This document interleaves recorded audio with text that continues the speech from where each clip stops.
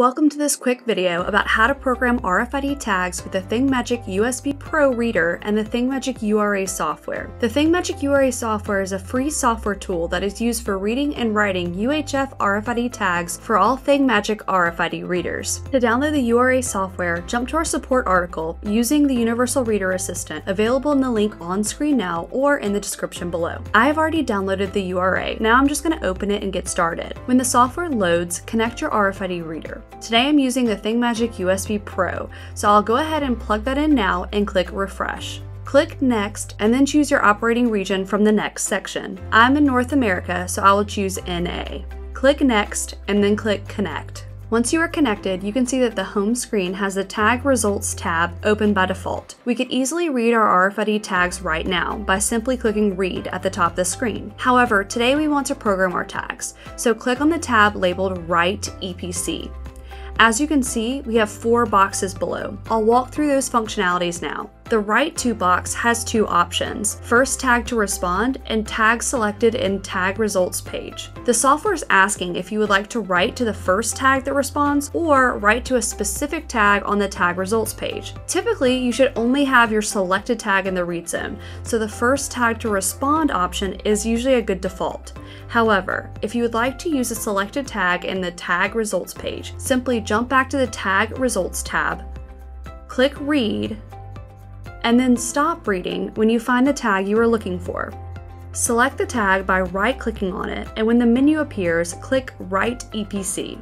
After that, automatically the Write EPC tab will open with the tag selected and Tag Results page toggled. The box How to Represent EPC is simply asking how you'll be encoding your RFID tags. Will you be using hexadecimal encoding, using the numbers 0 through 9 and letters A through F, or will you be using ASCII that includes letters, numbers, and special characters?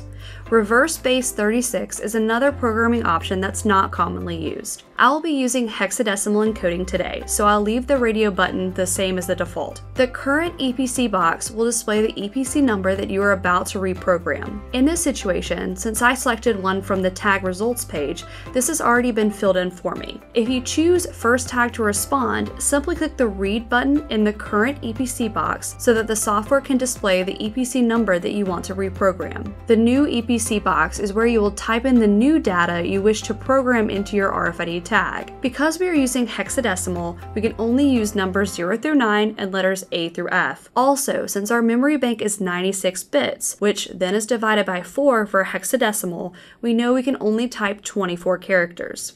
I'll go ahead and type in the new EPC we want to program and then click Write.